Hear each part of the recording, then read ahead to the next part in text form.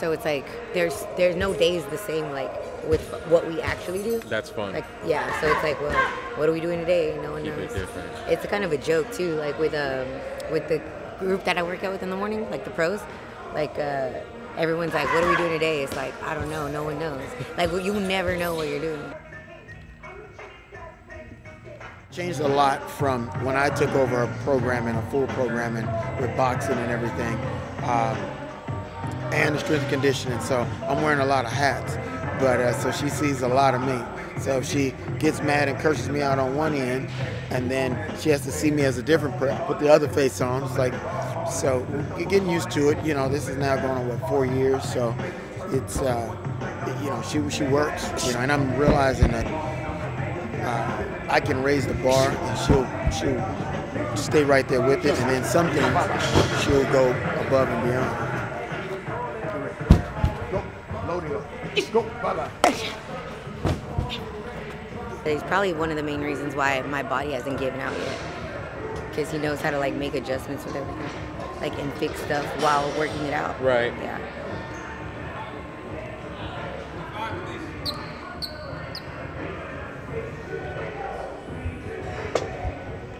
Yep, then press up and pull. Yep, under control. Two. Eccentric on the way down. Good. Don't twist.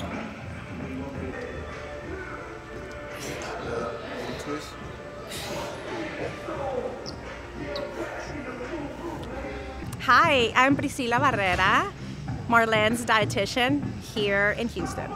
The opportunities that we've had to work on, it's the consistency of the meals, the consistency of the meals, making sure she eats, she is eating enough and eating without fear. Uh, because I feel a lot of times for that sport, athletes will be afraid of doing the wrong things at the wrong times, and so that is one of the things that she's she's aggressive into everything that she does.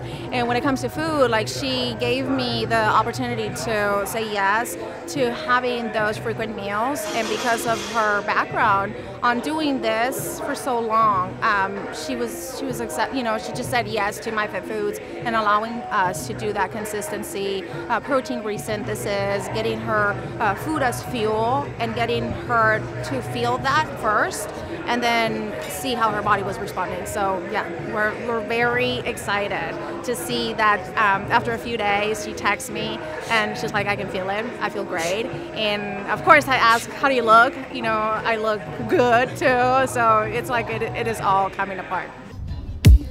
It's really just it's a lot of like strength work and leg work. So I mean, going up that hill is like torturous. So it helps a lot with like my not just my balance, but my like stability in the ring, but able to like foot movement as well.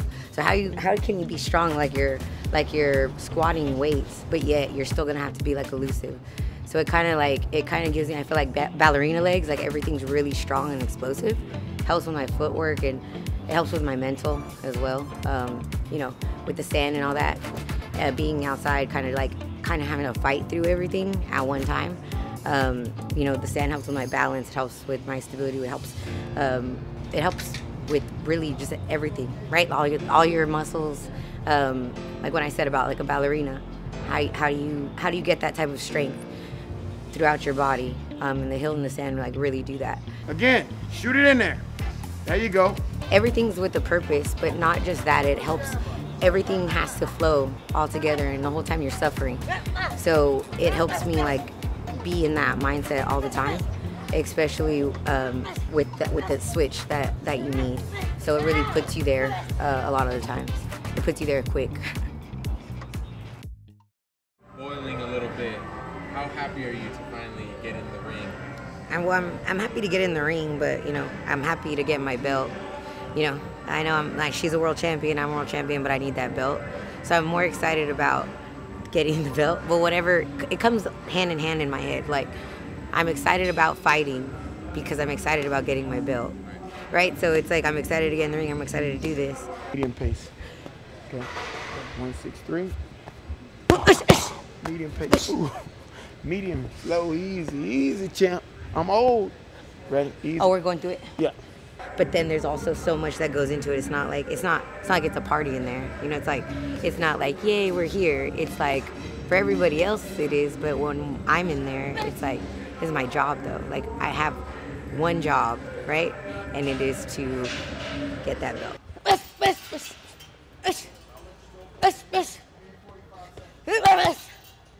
That so they got.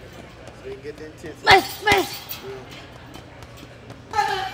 Good. Don't lean forward. You're already right there. All you can do is keep the knees bent. Use the hips. There you go. Drive from the ground.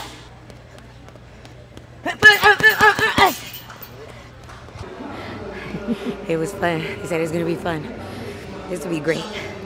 Like, being a world champion, he said it was gonna be fun. So much, fun. so much fun.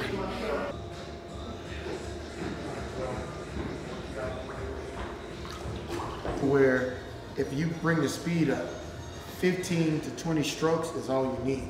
That's gonna feel like you you really punched out for 35, 40 seconds, right? Towards the end of the round. So now it's for her to control the heart rate and get her heart rate down under control in under 15 seconds. Right? Recovery. And then we try more and more. But the swimming and the running and then underwater breathing, being able to hold your breath. And, and for her, the goal is obviously, right? If she fights two minutes, hold your breath for two minutes. Want to do the paddles last? It's a, a pool workout, so it's it's uh, it's always hard, but there's a lot with breathing. You know, um, again, everything's pretty mental um, and fighting through things. And that was uh, well, we started with the run and then the swim, and that's really for lungs and just you know cardio. But the shadow boxing, you know, against the current is you know it's it's hard because it, I, am trying to get position. I'm trying to like fight, and it's, it's just pushing me back, pushing me back. So I have to figure out how to get it done while moving ways I don't want to move. So once I just you know you dig in and just figure it out, then you know it becomes a flow. But it's hard to, it's definitely hard on uh, the body, on the mind, and the lungs. So it's a full workout. This is one of the things we do, uh, not only as a warm up, but we do it uh, for just a normal recovery day. Um, she sees the chiropractor uh, usually weekly, uh, and then a massage uh, just for all the other tissue, whether it's cupping or anything, uh, just to get the body recovered back from the hard workouts. It's I love it because I'm always in pain, but and I've been working. You know, I've been boxing for so long too, and we train we train really really hard. We have a different. He has a different system than I've ever seen, so it's probably the most difficult. And since it's so much on my body, I don't think without like all the recovery that I would like be able to even do what I'm doing. So I'm I'm still able to do all the rounds and do all the working out and for so long because because of the recovery stuff. So learning about it too is fun because I didn't know like certain stuff like game readies or like compression or what it, what it means and what you actually need for what's happening to your body, whether it's a cold plunge or the compression, just like all of it together. I need it, but you know I enjoy it because it helps me. It's either you're working out or recovering, basically. hey guys, thanks for stopping by. The workout's done, so I'm gonna enjoy this meal. Tune in next time.